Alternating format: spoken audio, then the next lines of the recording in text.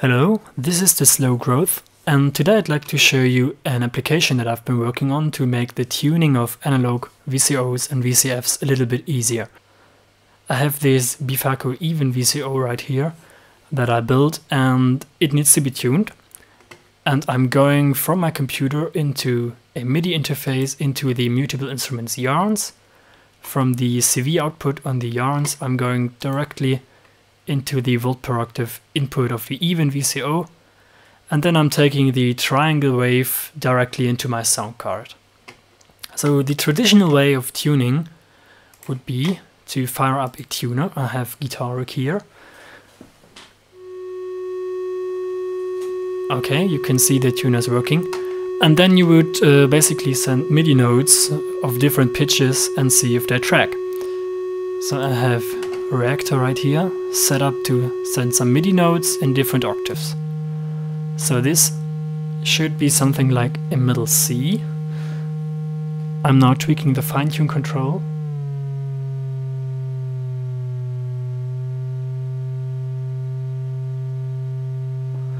Okay, and if I now send a MIDI note 12 semitones above this, this should also be a C, but it's not. So now it's time to tweak the trimmer and see if you can get it in tune.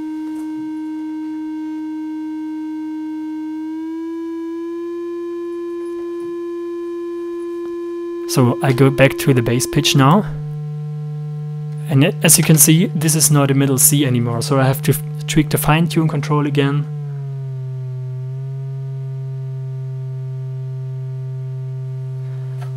Going back to the octave above. You can see we're a little bit closer, but it's still not there. And yeah, basically, this is the way you would typically typically do this. You would uh, alternate between different octaves and see if they track. And every time you adjust the trimmer, you also have to adjust the fine-tune control again to bring it back to a specific note. And this is very tedious, and I'm not going to do this. Instead, I've written this application that I'm going to show you now. Let's fire this up and bring the sound back for a second. So the first thing you do when you fire up this application is you click the audio settings right here and you select your inputs and outputs. So basically I have this USB MIDI interface that I've been talking about.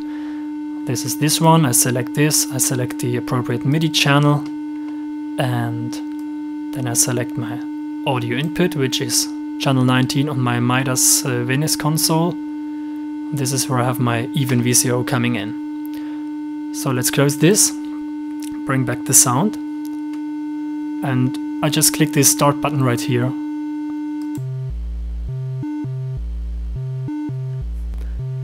And now you can hear it's alternating between different pitches.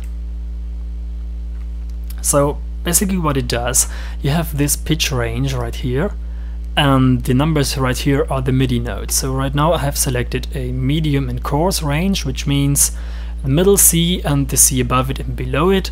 Um, this is the lowest note in the range, this is the highest note in the range, and this is the interval. I can also select half an octave as the interval. And you can see it added this measurement and this measurement here. Basically the way this works is it measures the length of one period of the incoming audio signal by looking at the zero crossings from the negative side to the positive side. And right now it's set up to measure 20 periods, but you can also increase this to 400 periods. Of course, it gets more accurate the more periods you measure. And according to this range, it starts um, with a pitch right in the center of the range and this is going to be the reference pitch. So everything else that is measured is compared to this reference. So it doesn't really matter if the reference is a middle C or anything else and this is what makes it uh, so nice and so easy to use. So after this reference pitch has been measured it then starts at the lowest pitch and goes up by this interval right here. So this is uh, the lowest pitch, 6 semitones, 6 semitones, 6 semitones, 6 semitones.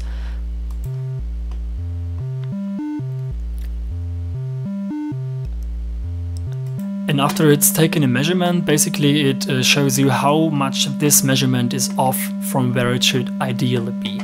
So let's just go ahead and select this coarse range again. I press the start button and now I'll simply tweak the trimmer on the even VCO and see if I can get it in tune.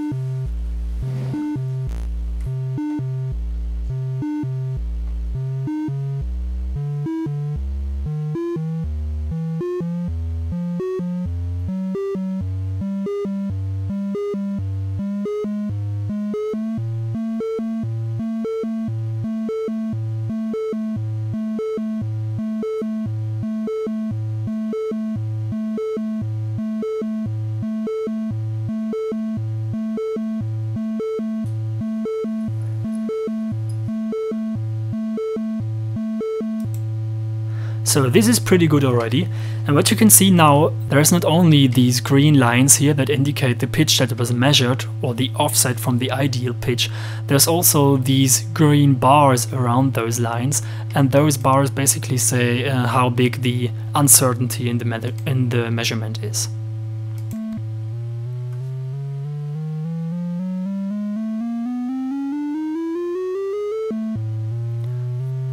So as you can see, the tracking is pretty good right now in this uh, range of basically two octaves.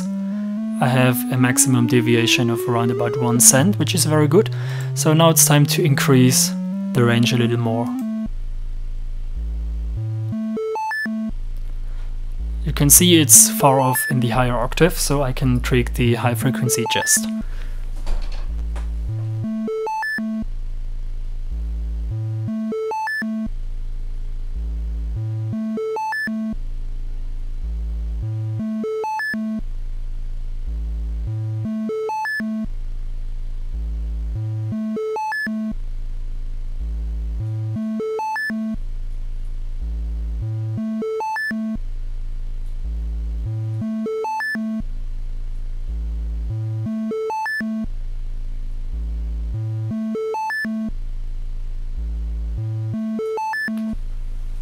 Okay, so without taking more time, this is uh, the best I can get in this short period of time. I could go on, but for the sake of this video, this is okay. So let's stop this. Um, what you can see here, I can of course increase the accuracy of the measurement, the resolution. Then the whole measurements take a little bit longer, but well, for the sake of tuning, usually it's okay to choose a low resolution. Okay, so when I'm done, there's also this uh, create report button and this is meant for basically doing the same thing again. It will do the same measurement in this huge and fine resolution range with the highest um, possible accuracy. And then it will produce a PNG image file that you can save on your computer that contains all the information about the device you've been using about the results you got. Basically the same chart as here but in a high resolution and you can use this to I don't know print it stick it to your wall as a trophy upload it on the internet compare it to other VCOs and in order to make these reports comparable to each other it is necessary to um, have the ranges centered about a common frequency. So this is what I'll be doing here in the first step of the report. As you can see it's asking me to adjust the fine-tune control in order to get a 440 hertz um, frequency and I'll do this now.